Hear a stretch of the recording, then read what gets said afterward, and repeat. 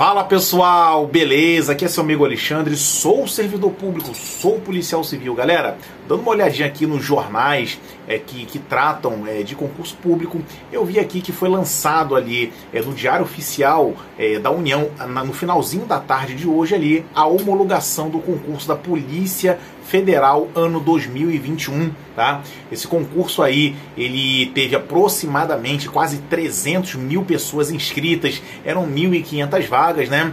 E foi um concurso ali que, que atraiu as atenções de muita gente, ainda mais naquela época de pandemia, que teve toda aquela, aquela mobilização nacional, né? Em razão ali do desemprego, né? Que foi bastante grande, e as pessoas correram para concurso público e o concurso da Polícia Federal foi um dos mais badalados do ano de 2021. Então, galera, dessa vez uh, encerra-se né, é, esse concurso, né? E ali começa a, a, a contar o prazo é, de validade dele, né? Esse prazo, galera, é de seis meses, podendo ir ali até aproximadamente o mês de março, caso a Polícia Federal ela, ela prorrogue esse prazo, ele pode ir até o mês de setembro, tá? Ah, lembrando que ainda tem ali um chorinho, né, um finalzinho de relação é, de lista, né, é, de candidatos é, do cadastro de reserva Alguns necessitam ali é, daquela questão da quebra da cláusula de barreira, daquele decreto do Bolsonaro é, de 2019, coisa que eu acho pouquíssimo provável é, de acontecer, tá? Porque é, se durante essa campanha política o Bolsonaro não quebrou essa cláusula de barreira, eu acho pouco provável depois da campanha política ele se interessar por esse tema de quebra de cláusula de barreira, tá? Então, galera, concurso aí homologado, a, a Polícia Federal não costuma prorrogar os seus concursos, tá? Aconteceu agora no ano de 2018, porque sempre quando vencia, expirava o prazo, automaticamente ela encerrava ali o concurso, tá? E, e, e, o prazo era muito pequenininho, antigamente era de um mês só, né? Não sei se vocês lembram dessa, dessa época né, da Polícia Federal. E agora é, foi de seis meses, podendo ser prorrogado por mais seis, né? E depois ali fica a Polícia Federal é, é, sem qualquer obstáculo de fazer o novo concurso, tá?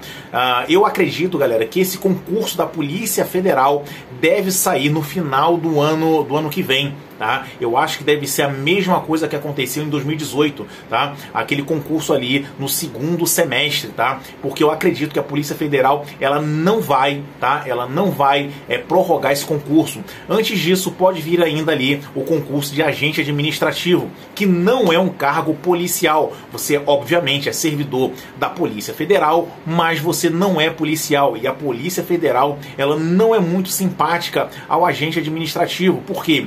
Porque porque ele não pode fazer operacionalidade e aqueles policiais, aliás, aqueles servidores administrativos podem ser substituídos por, por terceirizados, né? por, por, ser, por, por contratação ali de alguma empresa para fazer esse tipo de, uh, de serviço burocrático na Polícia Federal, o que é muito comum na Polícia Federal. Quando eu vou aqui uh, na sede da Polícia Federal, por alguma razão uh, da Polícia Civil, eu sempre vejo ali muitos agentes administrativos de empresas ali uh, contratados. Então, galera, enquanto estiver vigente né, esse concurso, não poderá né, chamar mais candidatos, né, até ali é, zerar o cadastro de reserva. Né? Então, galera, concurso aí homologado é, na sequência né, é, do término desse prazo, eu acredito que já deva ter ali alguma tratativa para o início do próximo concurso, porque a Polícia Federal, ao contrário da Rodoviária Federal, do DEPEN ou de outros órgãos, ele não depende da anuência, da concordância tá, do antigo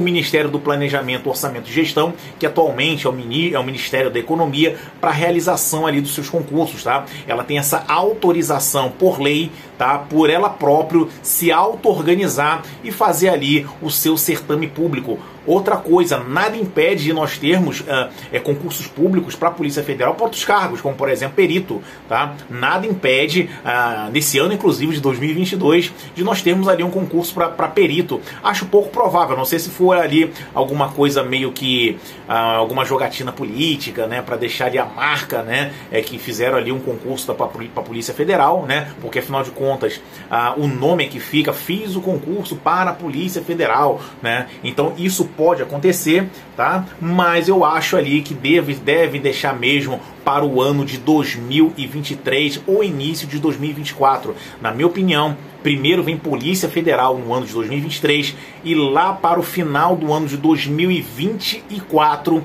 deve vir ali o concurso da Polícia Rodoviária Federal e talvez talvez o DEPEN, ah, mas eu acho pouco provável chamar o DEPEN nesse momento, beleza, galera? Então a notícia era essa, eu acho que é uma excelente notícia aí é, para o mundo dos concursos públicos. Quem divulgou é, logo é, pelo finalzinho da tarde já foi o, o Folha Dirigida, a, o, o, Direção Concursos, né? Já lançaram essa notícia e logo animou ali todo mundo concurseiro, porque, cara, é um dos concursos mais esperados, mais divulgados, né? Que as pessoas mais têm desejo de entrar, que é a Polícia Federal do Brasil. Beleza, galera?